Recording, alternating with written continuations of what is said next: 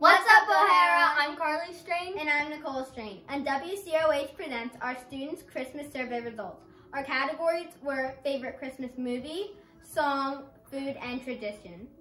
The freshmen's favorite movie was Elf and Home Alone. Their favorite song was All I Want for Christmas Is You. Their favorite food was cookies, and their favorite tradition was decorating the house and the tree.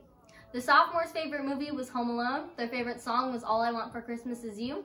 Their favorite food was cookies, and their favorite tradition was setting up the Christmas tree. The juniors' favorite movie was Elf. Their favorite song was All I Want for Christmas Is You and Do They Know It's Christmas. Their favorite food was cookies, and their favorite tradition was giving gifts.